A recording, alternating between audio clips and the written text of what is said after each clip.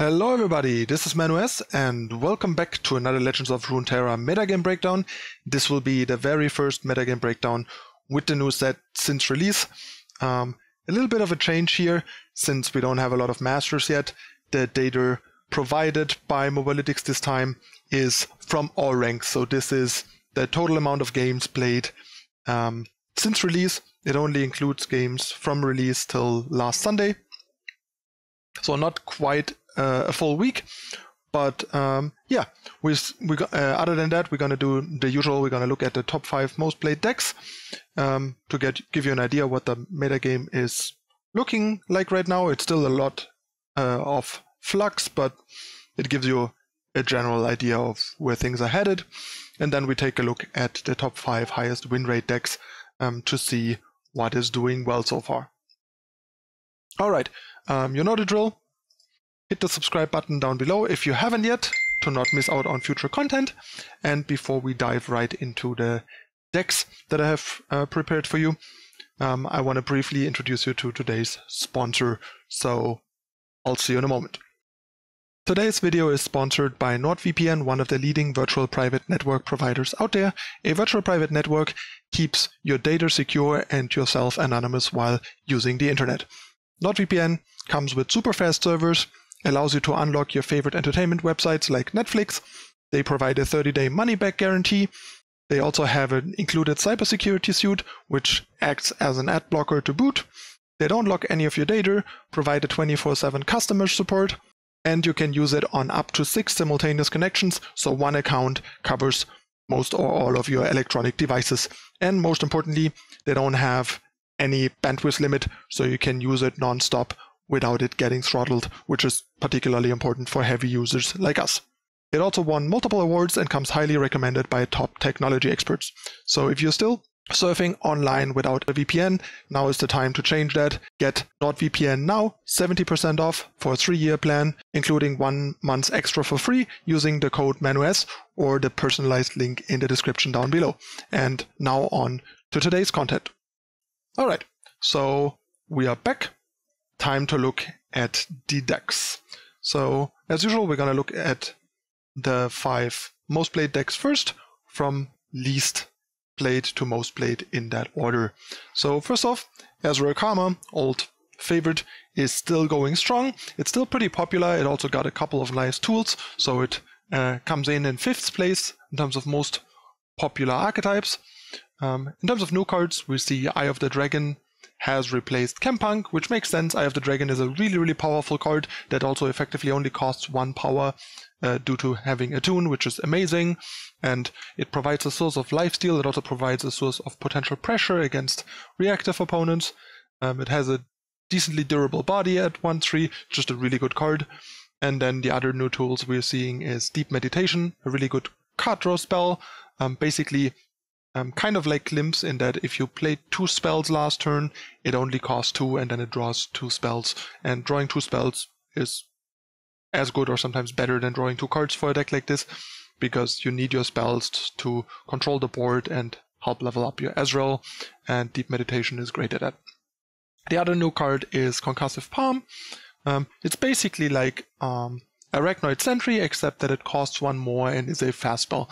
The main downside uh, here basically is that it can be countered by something like deny or fizzled by certain effects.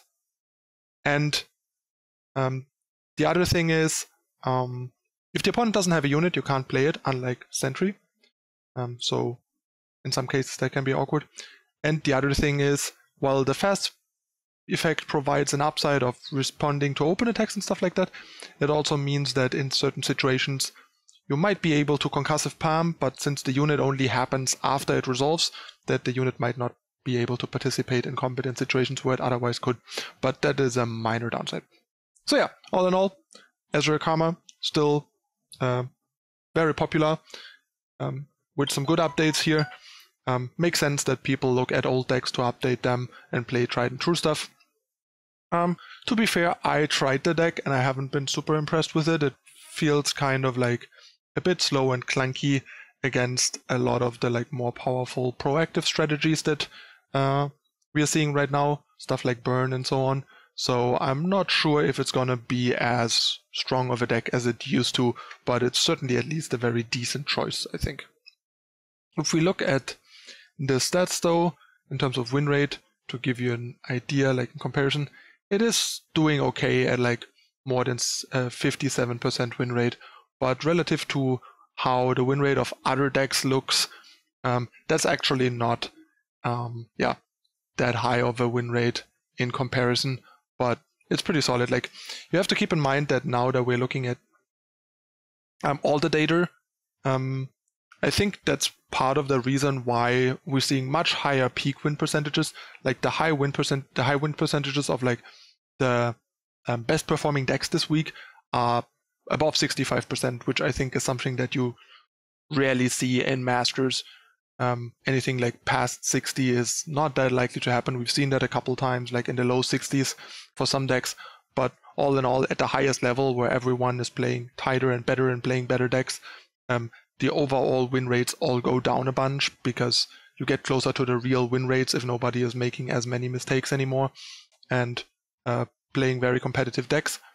Um, as opposed to here where there is much more skill discrepancy and uh, there's a much higher chance that after a reset like much better players play against notably weaker players to an extent and creating these much higher um, like win percentage peaks so to speak. So keep that in mind. Um, we will see that adjust i think once we have masters only data again. All right on to the next deck Next we have Draven Jinxburn. So burn in general. Um, all I can tell you guys is please don't play this list. Like this list is just not very good. Like don't put Draven and Jinx in your burn decks. Like they are beatdown units. They are slow. They are good units to put in play and fight. But this deck doesn't want to fight for board. You just want to get your one drops out, hit your opponent a little bit, and then burn them out because you have so many direct damage tools now that you really don't need it. Like this deck is shaving so many of the like super good cards. Like used cask salesman is insane in burn. It buys you so much time while also dealing damage. It's obnoxious. Only running seven one drops in your burn deck, also unforgivable. Um, then only two fervor, only two get excited, only two decimate, three of your best burn spells um, is equally like baffling. Um, this deck basically doesn't know what it wants to be. It doesn't know whether it wants to be like a beatdown aggro deck or burn deck, and ends up being not that great at either. Um, I recently released my complete guide on burn uh, as a deck tech, going over my uh, deck list, explaining why I think all these cards, um, like Jinx and Draven, are not good in the deck and shouldn't be in the deck, and so on and so forth. So if you haven't watched that yet, make sure to check it out. I'll uh, try and remember to link it up here. Um, so you can check it out because yeah these lists that people are running are just yeah uh, frustrating to me. So um, make sure to check out the guide and get my full opinion on burn and how it should be built and why.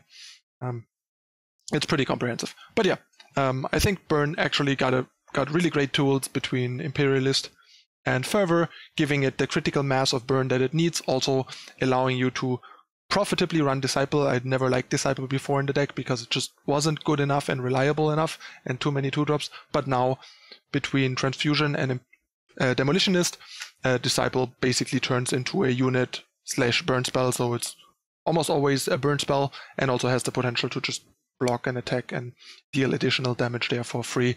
Um, but at least usually does it's like two two or more damage uh, from its triggers, which is really, really good. And Noxian Fervor is amazing. It's basically a better get excited most of the time that also allows you to deny opponents lifesteal, stuff like um, Grasp or um, Vile Feast, life gain, and stuff like that. So it's just sometimes just randomly dealing six damage to the opponent by like countering a grasp and dealing three to them, which is insane.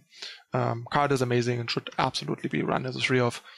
Um, but yeah, um, Burn, very popular, not too surprising, got good new tools, was fairly popular before, especially in early stages of meta games when things um, were still shaking out. I think this time uh, the deck is here to stay, and I think it has all the hallmarks of potentially being uh, one of the top decks of the tier one decks because um, they pushed it quite a bunch with the two no cards that it got, and also makes the deck able to streamline very much and lean heavily into its burn plan of just interacting as little as possible and just kind of like running down the opponent's clock. And the opponent is basically playing against a ticking time bomb from the start. Um, yeah, that's burn. On to number three. Number three is elusive aggro. Um, please don't call this elusive OTK. This deck doesn't try to set up a one turn kill and kill in one turn. It very rarely might end up playing out like that, but not really and not usually because um, you usually kill over like two or three turns in multiple attacks. Um, I really dislike when all these terms get watered down and end up not meaning anything anymore. Um, these terms mean specific things, and it's important that they are used to mean these specific things because that is what allows us to talk about these things. And an OTK deck is a one-turn kill deck. It's a deck. It's a kind of combo deck that tries to set up a one-turn kill. And this is not that deck. This is just kind of like an evasive um, sort of tempo deck that just tries to um, cheese out the opponent in a couple of quick attacks, ideally um, with evasive units or Zed, or sometimes randomly goes the like Fiora um, win condition route if that uh, lines up well. But yeah, this is just like kind of a all-in sort of deck standalone standalone thing. I have played similar lists in the past. I'm not the biggest fan of this particular route because I don't really like Greenglade Duo or Blade Scout very much, but um, they they make some sense, I guess, because for example, Blade Scout with a Relentless Pursuit turn is like four extra damage, so it helps you sort of close out games faster. But I think you can also kind of accomplish that by just running a couple of more a couple more tricks that kind of do the same, but also have the potential to, um, yeah, um, protect your units. So not sure how much I like this, but all in all, this is pretty straightforward. Um, so if you want to just get some quick games in, cheese out opponents, this is a solid choice. It's pretty popular because uh, Swim has been championing it, and it just some decks just can't win against it. Um, while others might take you apart. Uh, my problem with these kinds of decks usually has been that they are a bit kind of like inconsistent and um, one trick ponies in that sure certain decks just kind of never really have a chance when facing you but against other stuff they just kind of um, yeah take your stuff apart and then you have no real chance of winning as much as some other opponents don't have much of a chance beating you. Um, but yeah, I mean, um, I can see the deck potentially doing fine depending on what the metagame looks like. Um, I have had quite some success and fun with my version that I played in the uh, AFK um, Creators Invitational back then, but only did okay with it in the tournament. And it's leaning a bit more into the tempo, controlling the pace of the game kind of route, rather than playing these like marginal uh, cards like Blade Scout and stuff like that, and also plays like um, No Fiora, a bit more elusives, and Blade Scout to lean into the uninteractive part more, because Fiora is kind of uh, weird in that regard. But yeah, this is the third most uh, popular deck. Uh, if we look at the win rate, um, it's doing pretty well. Like it has 62% win rate right now over the 3,100 games, which I'm not too surprised, especially at lower ranks because a lot of people are not very um, prepared for this kind of deck and don't know how to tackle it best, and then feel kind of like this is unfair and broken and just lose to it. While I think at a higher level, the win rate of a deck like this uh, would go down notably. But yeah, um, if you want to play something that doesn't require any new cards, there you go, zero, zero Rising Tides cards. All right, next we have um, number two, Lee Sin, Twisted Fate, spell sort of tempo deck. Um, I think the most popular version of this, while this is not the version on screen, uh, one of the more prominent people that has been uh, playing this deck is Tier Red, the creator of the old um, Ephemeral Deathmark Hecarim Zed deck, uh, which was a really cool deck and really well designed. Um, which I can't say um, about this archetype. I think this deck is really cool, but also really, really bad. I tried it a bunch, and it's just it's so clunky and so slow, and anything that is like a top tier deck will just roll over, uh, roll all over you, and it's not even funny.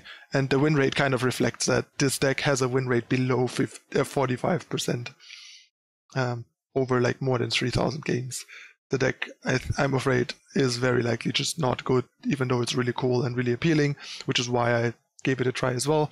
But yeah, it's not not legit. It's just too fragile and too clunky and gimmicky, I think, which is a bit unfortunate because it's a really cool concept. But yeah, can't recommend this. Um, this deck has a worse, has a notably worse win rate than both starter decks, because that's the thing. Since this is all ranks, the starter decks show up as well. Like the the Spider starter deck has a win rate of almost 57%, and the uh, Jinx Zed starter deck has a win rate of 51%. So um, that tells you a lot if starter decks have like five to like five uh, more than five to 10% higher win rate than this deck, how bad this deck is. So yeah, can't recommend it unless you really don't care about winning and just really like how cool this deck is. And last but not least, in first place, we have deep sea exploration, as I like to call it. Basically, it's Nautilus, deep sea, uh, deep, and sea monsters. Um, as you can see, this deck is super popular because it plays mostly new cards. It's very flashy, cool, makes use of one of the major new mechanics, and is more than three times as popular as the deck we last looked at, more than 10,000 games. So that's the deck that everyone has been jamming the first uh, less than a week or so. Um, I think by now this already has dipped a lot because this was one of the easier to find and build and obvious decks, but it's also not that great in my experience. And since then, I think um, this number has dipped a lot, um, and I'm not seeing it as much anymore. We have seen the Scout deck emerge more and more that uh, Patrick Dickman and I have built on the first uh, night but we'll get into that in a moment. But yeah, the deep deck still doing okay, like 56.5%, but relative to like what the high, what the like top performing percentages are, this is very like subpar. Like it's not a great win percentage, but it's like at least not a terrible deck. Um, this list, however, is very wild, and I don't know where it's coming from. Um, that it is the most popular list of the archetype. Like if we look at this list, um, it has the same win rate as the archetype, and there's almost a thousand games with this specific list. So people must have copied it from somewhere. But yeah, can't say I'm a fan. Um, looking at some of the things, I think Jaull Hunters is really, really good. It's a sport control and it's a two for one. Um, I usually like three of those. Um, then Zap Sprayfin as a one off makes like no sense at all here. It's really, really random and this deck is already kind of slow and dirtly, and you really don't want to be playing like a 2-2 on turn 4 in this deck. You can't afford to. And only running 2 Devourer of the Depths is just insane to me. The card is nuts. And once you have Deep, it obliterates anything. It can make, it even like gets rid of stuff with like Last Breath and stuff like that. It's just a super powerful card and an easy 3 off.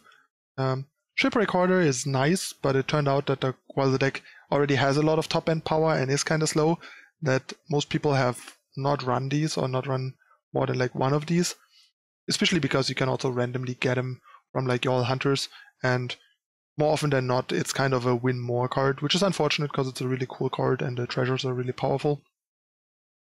And then we have one Terror of the Tides, which is fine. Allows you to like close out games quickly once you get to the like sea monster board situation.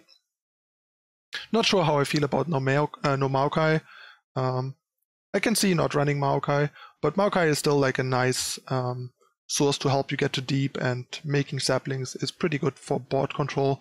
But I can see him being a bit too dirty, so I'm uh, open on that. And while I initially didn't like Jettison very much because it's like you're down a card uh, using it, but the deck needs deep so much and so fast um, that and generates so much advantage that throwing up uh, throwing away cards to rush to get deep fast um, is worth it, and I think you probably should run three or at the very least two. The third one, I'm not 100% sure, but I think um, you really need to get deep as fast as possible more than anything, and that makes me want to run three jettison, even though um, I initially thought they would be too bad because you lose a, lose out on a card there.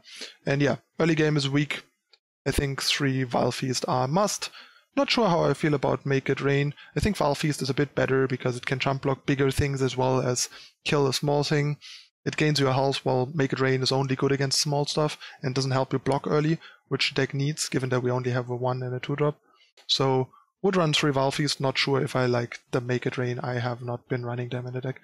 Um, Riptide, also not a big fan. It's very clunky and if you don't have a Nautilus out, it's pretty underwhelming.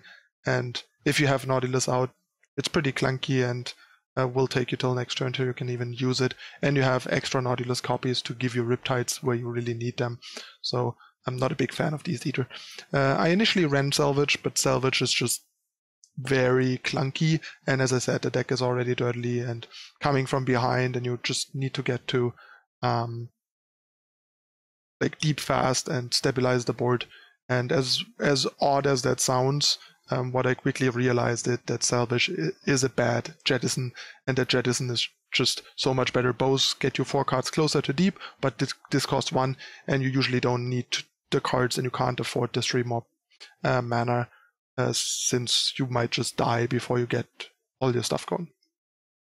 So here's some notes. I might uh, do a deck tag on deep uh, once I have a list I like, but so far I haven't been very happy with the archetype. Deck felt pretty underwhelming, and I've been doing a fair share of losing after I initially thought the deck is really powerful and might be kind of broken because the cards seem very pushed, but the deck, um, once you play it more, you really realize how much of an early game weakness and clunkiness the deck has to it. And while the cards individually seem very pushed, the deck as a whole, as it comes together, has some glaring holes that don't seem to be easily fixed, um, especially because the deck needs so many uh, cards by default to like make its engine come uh, together. But yeah, um, these are the top five most played decks of the first week.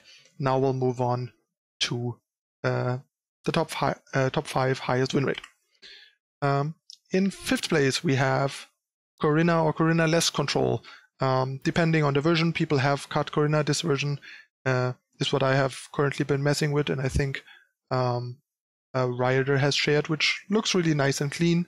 Um, I could totally see getting two Corinas back in there, but I'm not sure over what, to be honest. Um, since um, I think Corina is less reliable than Ruination, and Vi gives you some punch, so you might need uh, Corina less. Um, but yeah, basically Vi is a really great addition. It's a very good board control tool and threat. Um, Gotcha is a neat upgrade over Get Excited because the deck doesn't have a lot of card advantage, so uh, having to discard cards to gotcha, uh, to Get Excited is painful, even though the burn sometimes matters to the face. I think in the end, being able to Gotcha for two and not have uh, two for oneing yourself by dealing three to something, uh, Gotcha probably ekes out uh, Get Excited, but I haven't played the archetype too much to say that for sure. And the rest is all same old, same old.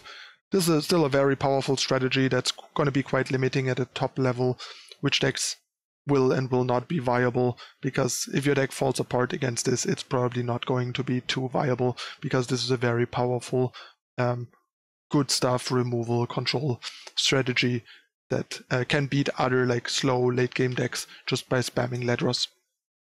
And against anything else has so much removal at all stages in the game that it's really hard to mount an offense until they're like Vise and Ledros' take over basically. And sometimes they just randomly kill you with a spider game plan of like Elise into Skidera into Brood Awakening and beat down you uh, and control your board with leveled Elise.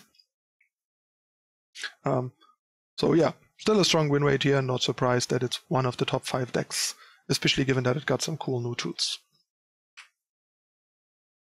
Um, next we have, yep, next we have um, another old favorite Bannerman midrange, this time Mono Demacia, no splash, because we got Unyielding Spirit to replace stuff like Deny and the likes to give the deck some uh, anti-removal, anti-sweeper, and late game staying power. Uh, Unyielding Spirit, really nasty card. Unyielding Spirit, especially on a Fiora, is a pain to deal with for a lot of decks. They just kind of lose to Fiora eventually because Fiora killing four guys when she can't die and can't be answered is uh, pretty nasty. I honestly think the card should not be a burst spell. I think the card should probably be a fast spell, so it has the same risk reward kind of situation as Judgment, because Judgment is equally game breakingly powerful, but it is a fast spell, so the opponent can blow you out.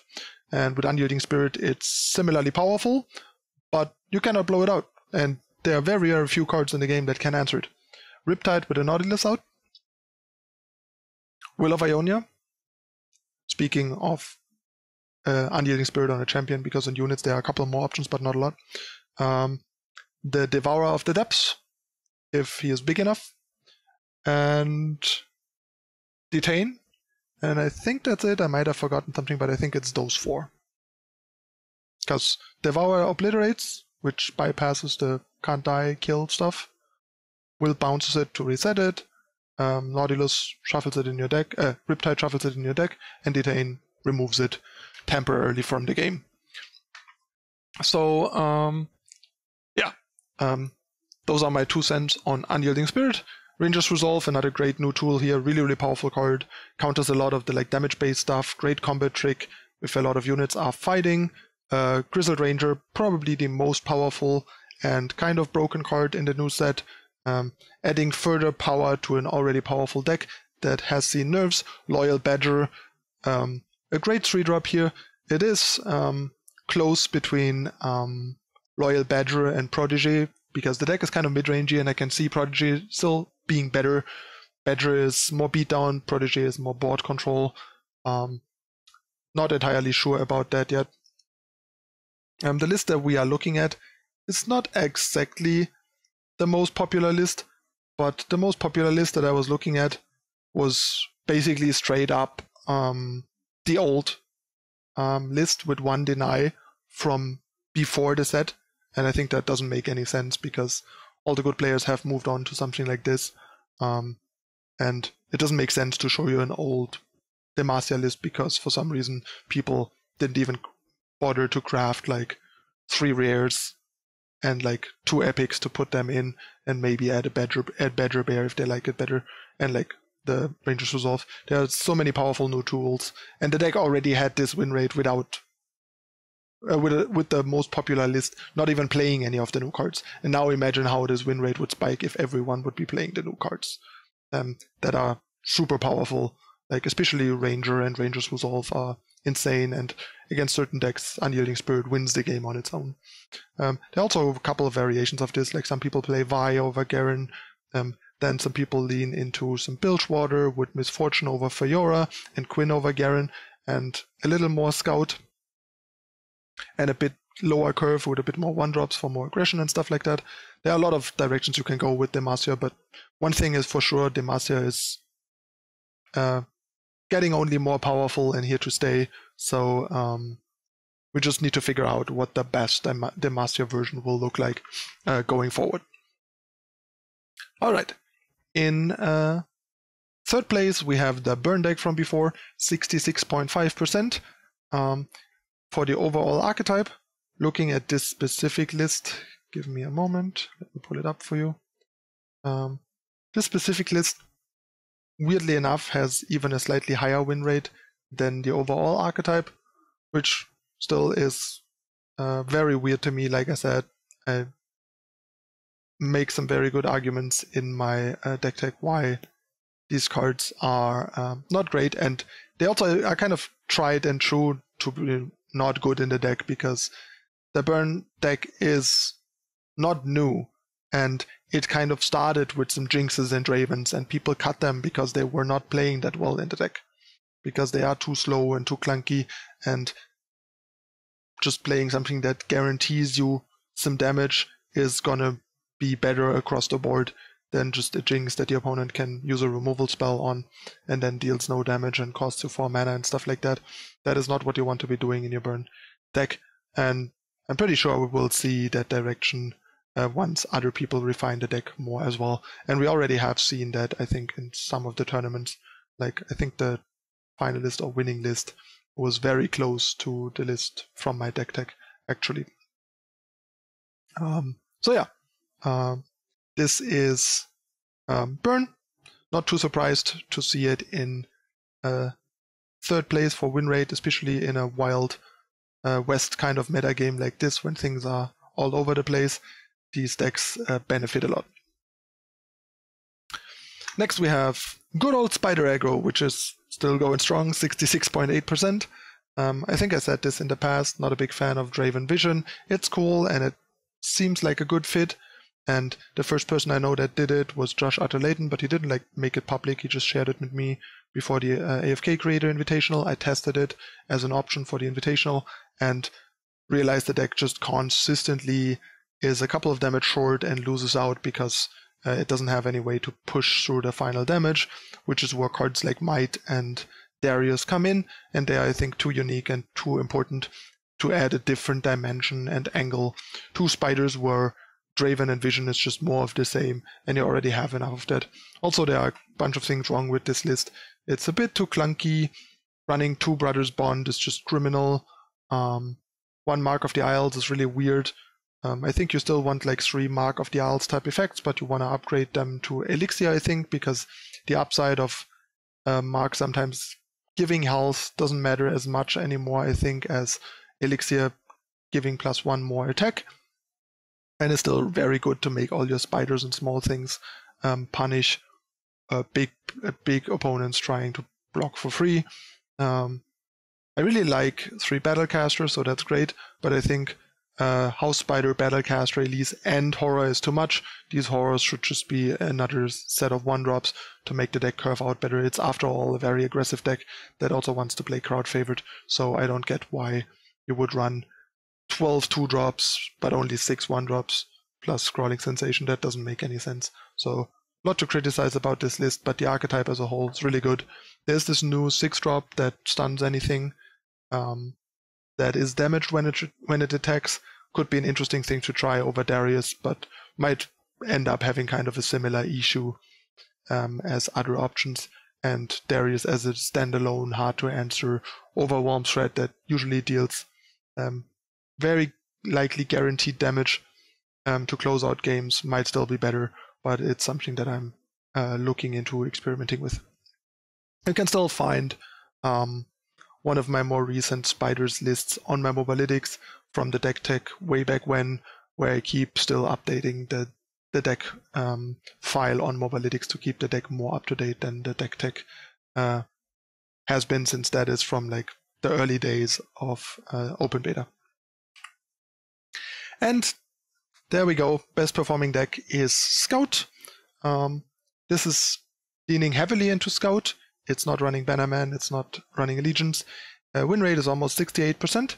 This is basically exactly the day one list that Patrick Dickmann and I came up with um, the night after the release stream. Basically, set came out, I streamed after the stream. We got on voice call, uh, looked at the whole set, bounced around some ideas, and this was the first thing we kind of came up with and put together and he tweeted it out and I tweeted it out and streamed it the next day and it took off from there I think. Um, basically the list that we posted still had hired gun but uh, we mentioned in the tweet that we weren't sure if Warchefs or hired gun is better and it seems the majority uh, wanted to go with the tried and true Warchefs which is why the most popular list we see here is the list with Warchefs um, rather than hired gun. But other than that it's exactly the list that we uh, shared on the first night. Um, a few changes we considered since then is something like cutting an uh, Genevieve for back to back. We tried cutting the one drops for um, two Rangers resolves and the third Genevieve again to have three Genevieve and uh, two back to back. But that kind of isn't that great because Miss Fortune makes you want to be more aggressive and have a lower curve. So now we cut the Razor Scale Hunters to have like two Rangers Resolve and two back-to-backs and three Genevieve and keep the one-drops. Rangers Resolve is just too good not to run, and it was a mistake to not have any, and we corrected that quickly. Um, but to be fair, what we realized by now, while this was a really great deck early on, um, now the problem is Bannerman decks came back Um, burn decks are popular, so this deck is not good versus burn. It's usually a turn too slow, so burn goes under you, and then decks like Bannerman, other Demacia decks, or like just Miss Fortune Quinn decks with just a light splash and Bannerman all go over you and outpower you, uh, overpower you, and just stop you in your tracks. And so you're basically kind of caught in the middle where you never want to be. You're too slow for burn and you're too small for like other Demacia decks and stuff like that. Um, leaving this specific version in a really bad spot which is why I haven't done a deck tech on it because I don't think it's actually good anymore. It was really really good early on. It's super. It's it just just was built for like maximizing scout and relentless pursuit and raw power by relentless pursuing on their turn to leveling Quinn or MF over like two turns. Just on your turn attack twice, on their turn attack twice, um, and level your champion and then just win the game. Um, so what I would recommend is going closer to something like the Bannerman list, either hybridizing those by like playing the maybe the Miss Fortune Quinn package and uh, maybe one other um,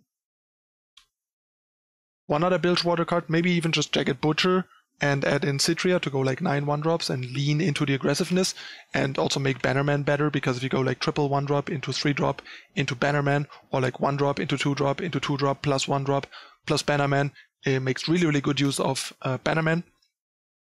And also, if you have enough one drops, Relentless Pursuit, even with less scout, makes a lot of sense. And then uh, you can still stick to like Miss Fortune Quinn over something like Fiora, um, Garen, Unyielding Spirit type stuff. Um, that's one of the things to try. I'm not sure what is better there, but I'm pretty sure basically if you play Demacia, you have to play Bannerman, otherwise you just lose to Demacia decks with Bannerman in the pseudo mirrors. And this deck just doesn't do that, and you uh, will just get overpowered. And Garen is also really um, problematic on top of Bannerman and Fiora and Unyielding Spirit. Um, so you quickly just get like um, overpowered. People just go over the top, and that's kind of what happens in these like mid-range aggro uh, mirror type situations. One deck goes a little bit bigger, a little bit more uh, value and power, and then you suddenly just uh, left in the dust. And yeah, that's what happened to this deck. So gotta adjust it. If I come up with a version that I still think is good with Bannerman, uh, that I feel is the way to go with Demacia over other options, I'll probably put up a deck deck and share it with you. But until then, um, I am exploring other things. But yeah, um, pretty nice to see and a bit proud that Patrick and I managed to um, come up with the best performing uh, week one deck uh, in the first night. Uh, feels really good. And yeah, the deck was a blast to play and super brutal uh, early on. But uh, lately, when we tried it, we just kind of faced the issues that I mentioned consistently, and it just felt one step behind what's going on, which makes sense because it's a day one deck and things have moved on from there. So yeah, this was a pretty long one, but that's what it normally is like when the metagame is becoming new. The the early metagame breakdowns last time around were similar. The more familiar we get with the decks and the metagame and so on, the shorter these uh, videos will be again. But I hope you guys enjoy the deep dive into all the new cards, the versions, and the win percentages and stuff like that. So let me know in the comments down below what you think of the series, of the format of the series. Uh, is there stuff you would like me to add or remove, touch on? Um, and so on and so forth. Always happy to hear from you guys and get some feedback to provide you the best possible content that I can. Until then, I'll be back with uh, other content in the meantime and see you next week for the second metagame breakdown of the new set Rising Tides. Um, yeah, don't forget on your way out to hit the like button if you enjoy the content, subscribe, turn on your notifications for more, and check out the NordVPN, the sweet NordVPN sponsorship deal in the description down below to secure your internet connection and help support the channel. Um, that's it again for this time. I'm your host, Manuel. Thank you for watching, and I'll see you next time.